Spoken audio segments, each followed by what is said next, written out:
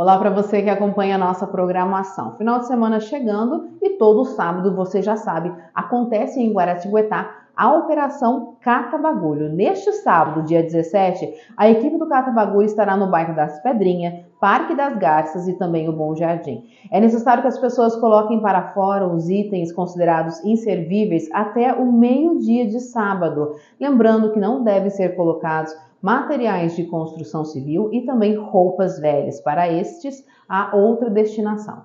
E caso você seja de outro bairro e tenha necessidade de retirar o entulho, aliás, um cata-bagulho, um bagulho da sua residência, né? Itens como colchão, móveis, pneus, entre outros, você também pode ligar no telefone 3128 2900.